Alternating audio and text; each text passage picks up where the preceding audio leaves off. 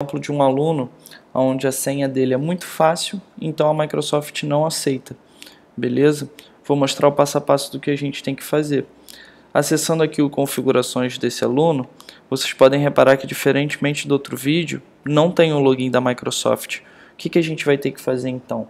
A gente vai ter que copiar o e-mail, beleza? O nosso e-mail do portal dos alunos, sair do portal dos alunos, vir em esqueceu sua senha e colocar para refazer uma senha. Quando a gente refizer essa senha, o portal vai gerar uma senha bem mais difícil e essa senha vai ser, vai ser aceita pela Microsoft. Vamos acessar aqui novamente o portal desse aluno e vocês vão ver que o login dele da Microsoft já vai estar ali aparecendo.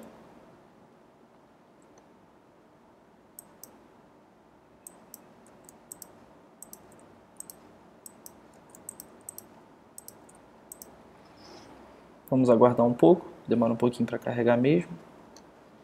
Quando a gente for em configurações aqui agora, temos o login da Microsoft, beleza?